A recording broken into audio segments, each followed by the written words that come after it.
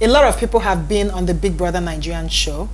My guest today was on the first ever Big Brother Nigerian show.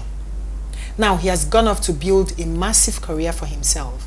Today, we are talking about his wins, his challenges, and the way forward.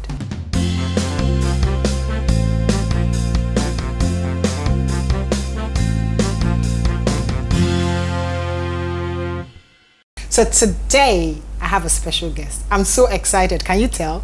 Hey, welcome, Gideon. Okay, okay. yeah, yeah, you know the man, but oh my God, this is the first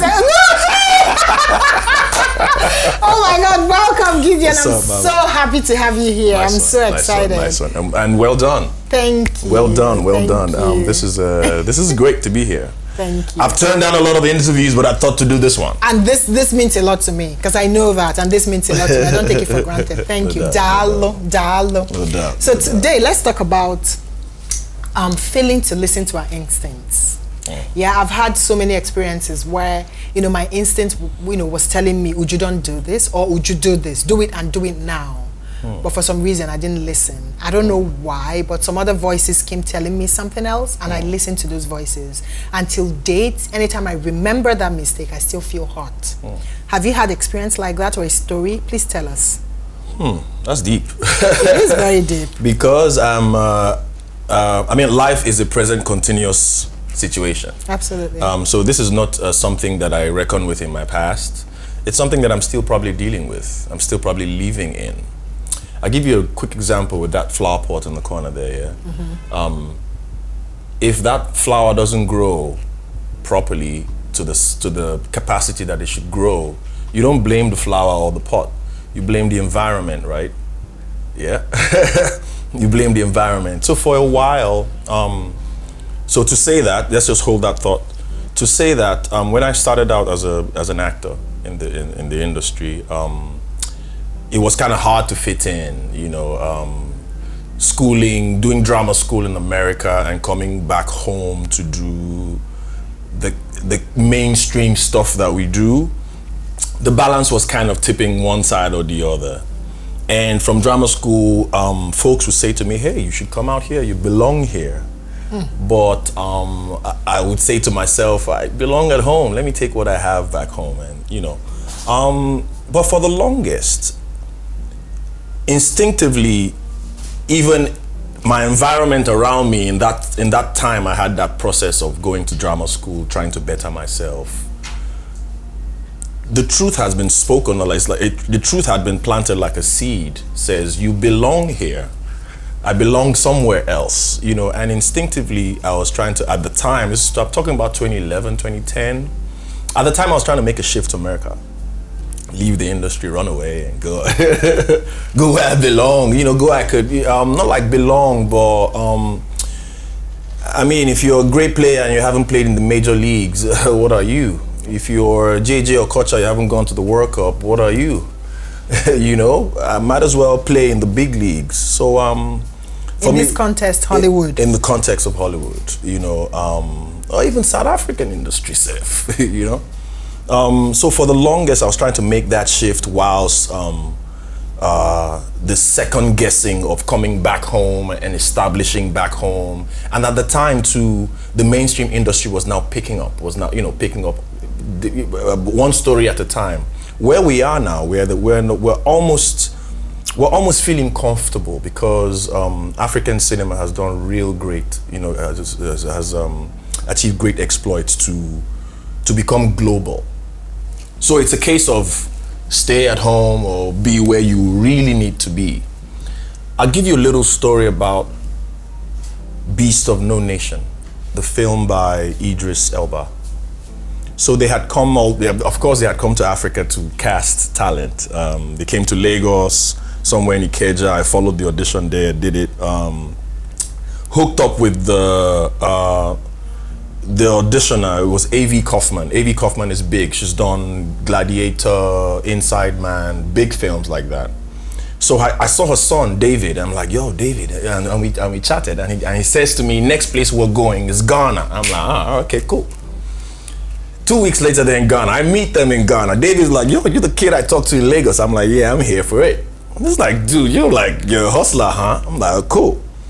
That happened, and um, I, I had this job for Discovery Channel. I had to go to Washington to train, and in that time, I now went again to New York to go to Avy's office, and this is the third time They're Avy, meeting you know, you. they're meeting me, and she's like, "Dude, you're chasing us all around the world, literally. Like, what do you want? Like, I want to be in this." And she auditioned me herself this time or rather David auditioned me. Yeah, David auditions me. I go downstairs. You know how New York is. You go out to the streets, uh, and now I'm thinking, use the tube, take a take a taxi, or just walk down, or do what? So I'm there just processing, thinking about it. Maybe I brought out a cigarette to smoke or something, and the door behind me buzzes. Uh, uh, you know, David comes out. He's like, "Hey, Gideon, Avy wants to see you." Now this is my first meeting with Avy. I'm like, Avy is big. Yeah. You know, so the door buzzes and David comes out and goes, Avy wants to see you upstairs. I'm like, wow, okay. This is my first meeting with Avy.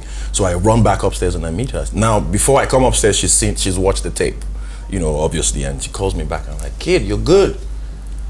But you performed your audition like you were in this room. I liked what you did, but you did it as though you were considering the walls of this room. The film we're trying to make is in the jungle, and you have there's somewhere inside I could see it. So forget that you're in this room now. Perform, do it. I'm like, uh, can I take off my shirt? She's like, do whatever you feel like. So I got um, literally naked. So I had my boxes on.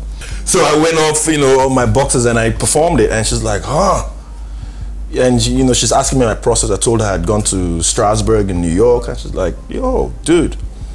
So she gets to telling me something. So then I'm, I'm asking her, "How do I make this move to America?" She says, "You need the O1 visa. You need all that, all that, all that." But she says, "Yo, come on. Um, what sport do you like?" I'm like, uh, uh, "Football." She said, "Football. Yeah. What's the biggest stage for football?" I say, "The World Cup." I said, "Ah, how do you get into the World Cup?" I say, you must have played the African Nations Cup, win or be the first two two runner-ups. You know, so so first three gets automatic uh, qualification or so. Yeah, correct me if I'm wrong, somebody. But yeah, that's what that's, that's what it is. You know, and she says, ah, so that means you must be the champion at home, right? And by way of being the champion at home, the world sees you and you get an automatic entry into the into the world stage. She says, "Go back home, be the African star." That's what she said to me. And right there and then, I stopped chasing America. Hmm. I stopped chasing America because she called names to me at that time that didn't ring a bell. This is 2011. Chadwick Boseman, um, Anthony Mackie, Buki M. She called some names within my age bracket, like if uh, Michael B. Jordan. If you came here, you would stand the line behind these boys because they are first of all locals. They have the accent. We need to we, we need to invest in you to go get the. We can't wait for you to get the accent. I mean, you have the talent, but how do we shovel you into something that's already happening right now? Go back home and be the African star. And I thought to myself, ah, I'm done chasing America. Let me go back home and be the African star. But I came back home and got frustrated. So you didn't listen to your instinct. I didn't. And that's why I say I'm still living it because, um, like I said, life is a present continuous situation. It's not done. I haven't stopped chasing. It's not. It's not America I'm chasing. I'm chasing myself.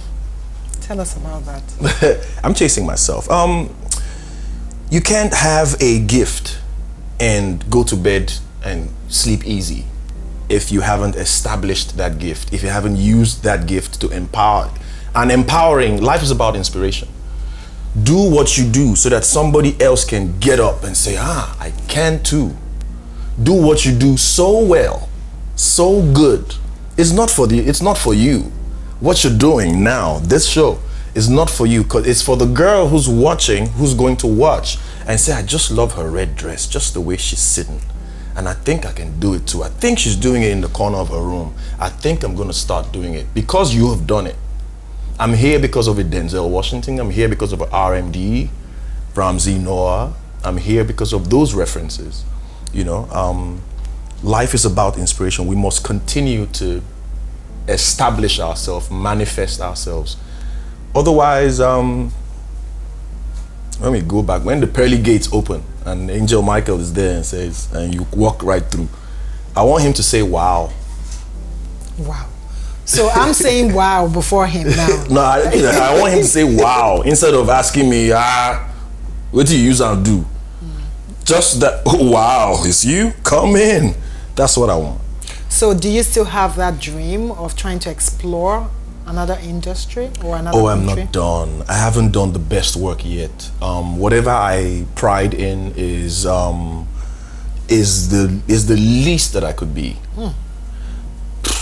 Whatever we pride Africans, let's look at it critically.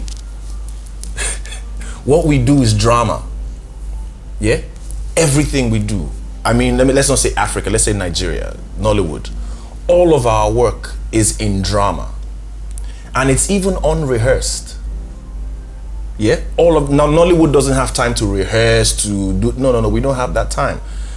It must be that the people, the practitioners, are gifted, right? But we are performing in our in our most minute capacity. Mm-hmm.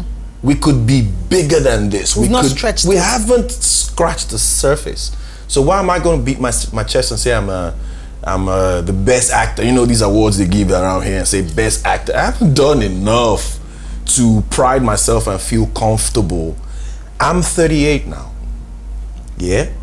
From when I was 23 till today, I said I still have the same fire burning in me. My utmost desire is to use the energy that I have. I'm fit. I could use all this thing that I have and do action and do thriller and jump from trains and do all that stuff. And then when I'm old, I can be sedate and sit down and deliver dialogue. You know what I mean? Yeah. But Africa's work is largely on dialogue. You see, boys, we get muscle if we if we bust this wall because Kate Henshaw, Kate Henshaw, literally lives in the gym, but nobody has put a cat suit on Kate Henshaw. She showed you the ability of self. Write the story around this thing that I am so proficient at, but we haven't. You know, it's like we think according to the naira and the kobo we haven't scratched the surface. I saw a Genevieve um, advert she did for uh, Telco one time. They put her in a cat suit. That's for photography. Let's put that in, in motion picture. We have the girls who can do it. We have the boys who can do it. Look around, there's no African leading man apart from John Canny or, or Bartlett, who's, who's just passed, his soul. There's no African Nigerian leading man in in comedy. He's there in thriller. Is there because we haven't exercised those genres to be the best of ourselves. So we can't go to sleep. We have to keep chasing. So, so what would you say when when you feel that your children have this fire for Mm. art? Do you think you would encourage them to go into the industry, Oh wow. or you think the industry is super complicated and you wouldn't want them to do that? I, I, I, I found myself in a peculiar way. Um, I started acting since I was six years old. You know this play thing we do in school? Yeah. But my parents were told, they were called and said, and they were sat down and said, Mr. Amechi, you need to take good focus of your son. Oh, okay. He, That's a good advice. yeah, at the time, you need to take a good focus of him, and um, he's very expressive. You need to da da da da da. In fact, what had happened was, my father came to uh, ask them to release me on on a certain Friday. My auntie's wedding was on the Saturday in Kano. My auntie's wedding was on a Saturday, and that, and that I would be back on the Monday for school. But there was something happening in school on the Monday, and I was the guy in the center. And my dad just, I mean, would, if for any other kid, they would have given the ex- ex- exeunt or whatever, the pass.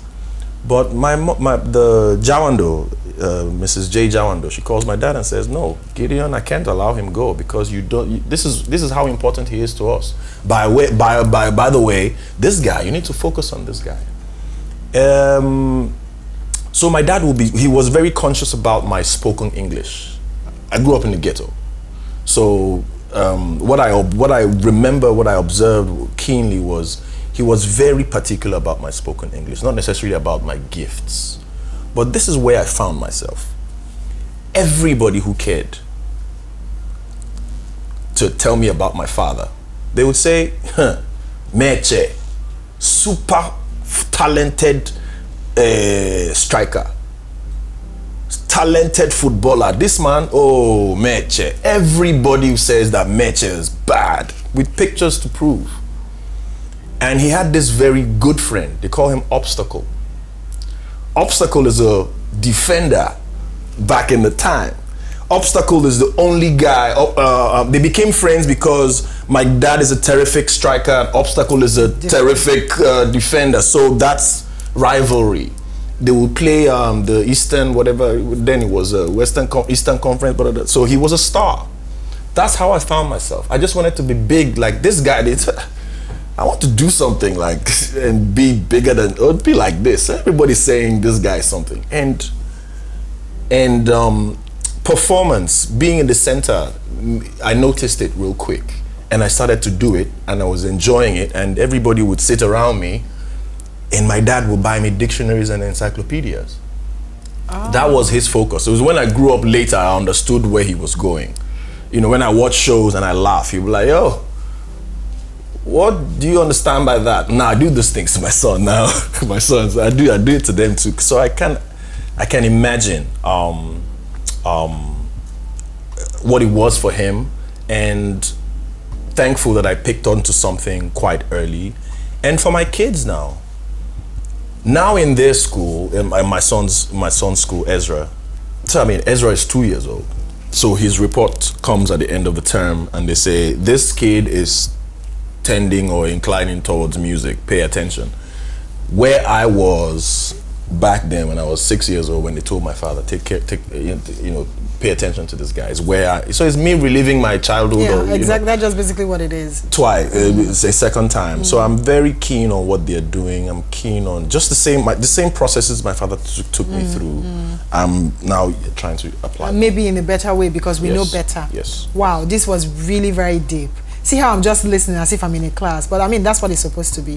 Thank you so much, Gideon, no doubt, for coming. No I don't doubt, even want no you doubt, to go. No doubt. Thank you so much for coming, guys. You heard it. We all have regrets, right, from not listening to our instinct. I have mine, but you know what? I'll share with you guys some other time. So please try your possible best to listen to your instincts.